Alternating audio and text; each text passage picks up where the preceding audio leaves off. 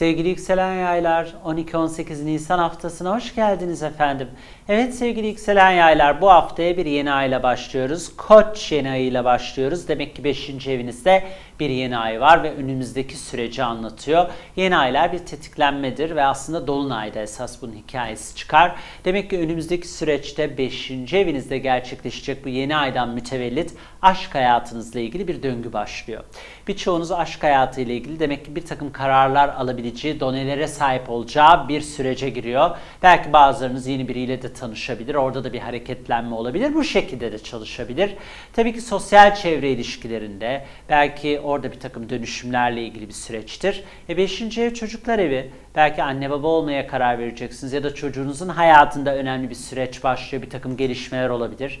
Bazılarınızın yaratıcı, kreatif yönleri varsa hani bu konularla ilgili bir kursa yazılma, hobilerine geri dönme ya da orada bir yaratıcılık gösterme anlamında da bir sürece giriyor olabilirsiniz. Fakat pazartesi bu yeni ay zamanı özellikle öğleden sonra akşama kadar bir de ay Plüto karesi var. Bu da aslında duygusal anlamda çok zorlar. Yani orada ikilemler olur, sıkışmış hissederiz kendimizi. Lütfen bu olumsuz enerjiyi özellikle aşk hayatınızdan ya da sosyal çevre ilişkilerinizden ya da çocuğunuzla ilgili olan konulardan çıkarmayın. Orada bir sakin olun. Efendim pazartesi akşamı itibariyle salı, çarşamba, perşembe sabahına kadar ay boğa burcunda olacak. Demek ki 6. evinizde olacak. Bu da demek oluyor ki iş konuları hafta ortası çok ön plana çıkıyor. Yoğun gündemler, iş konuları, iş ilişkileri bunlar dikkat çekiyor olacak. Ha çalışmıyorum diyorsanız da valla evde her şeye yetişmeye çalışacaksınız. Bir yoğunluk var. Ee, biraz sağlık konularında kronik sıkıntılar varsa onlarla ilgili bir hareketlenme olabilir. Ona dikkat edin.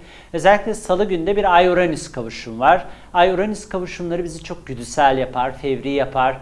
Dolayısıyla böyle bir salı günü iş ortamında bir gerilim olabilir. Ona dikkat edin lütfen. İkili ilişkilerde biraz güdüsel e, bir hal, tavır içerisinde olabilirsiniz. Buna dikkat edin lütfen. E, şimdi Perşembe itibariyle Ay ikizler burcuna giriyor. 7. eviniz, karşı eviniz ve sizin için sosyal bir dönem başlıyor. İşte aşk hayatınız, evliyseniz eşinizle ilgili gündemler, evliliğinizle ilgili gündemler. 7. ev her türlü ikili ilişkiyi anlatıyor. Sosyalleşme dönemi, belki de ticari ilişkiler, ticari konular, bunlar için görüşmeler. Yani o ay 7. evde sizi sosyal ve ilişki odaklı yapacaktır ve oradan gelecek haberleri anlatıyor.